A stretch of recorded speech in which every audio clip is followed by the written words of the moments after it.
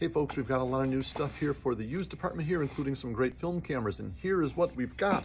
We've got a Nikon FG20, FG20 with a 50 millimeter 1.8 lens. That's going for $125. Classic uh, Nikon FG20, cool little camera.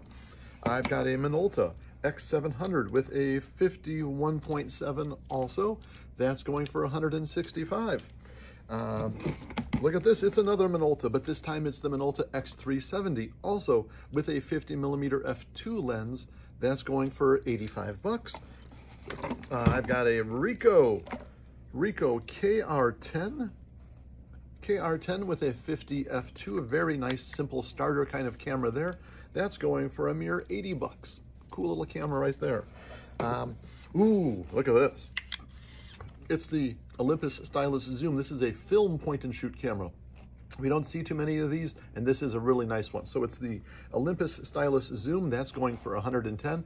And note, it is weatherproof as well. So go out and take some film pictures in the rain.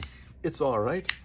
And then finally, I've got a Canon, uh, Canon SX700HS. This is one of their digital point and shoots with a 30 power optical zoom. That's pretty cool and that is going for $180. So that is the latest in our used department.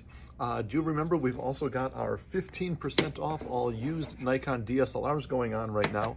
That's going on through January 9th, so you just got a couple more days to get in on that. So if you've been looking for a used Nikon full frame DSLR, now is the time because 15% off through January 9th. All right, thanks everybody.